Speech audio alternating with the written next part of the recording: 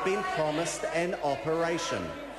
Question number nine, Dr. Paul Hutchison.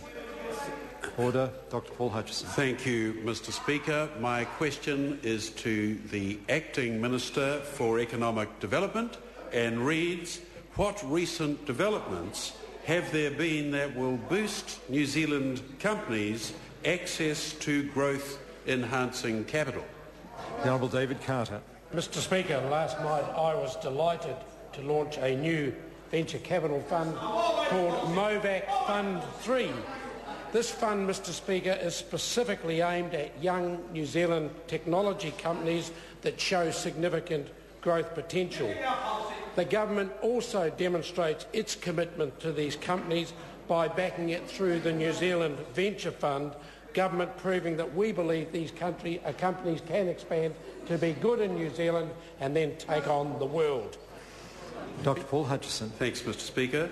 Why does the government provide funding for the New Zealand Venture Investment Fund? The Honourable David Carter.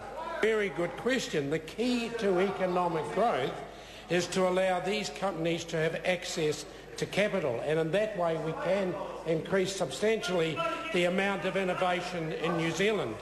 This government's commitment of funding to the New Zealand Venture and uh, Investment Fund with a $40 million underwrite last year very much achieved these aims. Mr Speaker, the New Zealand Venture Investment Fund has now invested in over 100 young technology companies and an interesting study just received shows that of those companies they have an average revenue per employee of 240,000 which is hugely more productive than most New Zealand companies. Question number 10, the Honourable Steve Chadwick.